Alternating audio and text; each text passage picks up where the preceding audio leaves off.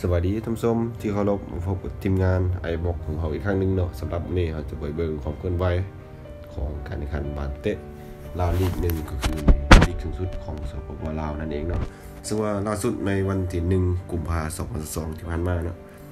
สพันบาสเตะแห่งชาลาวเพิ่นก็ได้มีการประกาศทีมเข้าร่มอย่างเป็นทางการก็คือมี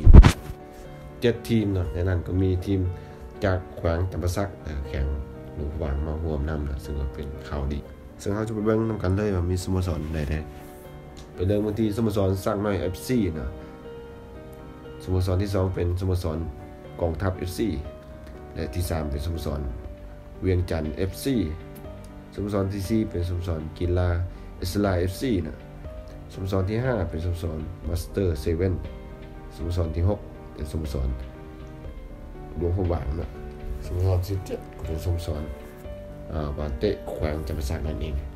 ซึ่งว่าการแข่งขันเพิ่นจะใช้อยู่3หอบก็คือหอบขาไปหอบขากลับ แล้วก็หอบที่ 3 นั่นเอง ส่วนวันเวลาแข่งขันทางสะพานบาเตะแห่งซาลาว